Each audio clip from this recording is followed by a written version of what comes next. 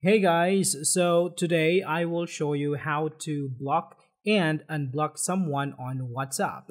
So let's start it. So first, let's open up WhatsApp.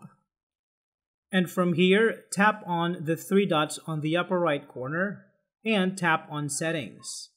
And from the following options, tap on privacy.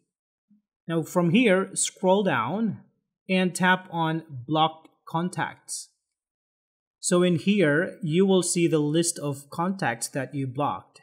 To block a contact, simply tap on the plus icon on the upper right side of your screen and select the contact that you want to block. Now for this video, let's choose this one. Now this contact is blocked. To unblock a contact, tap on the three dots on the upper right corner of your screen, scroll down to Privacy, and then tap Block Contacts.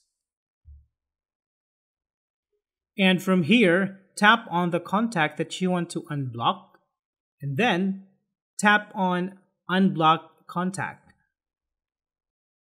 So there we have it guys. Thank you so much for watching and I will see you in the next one.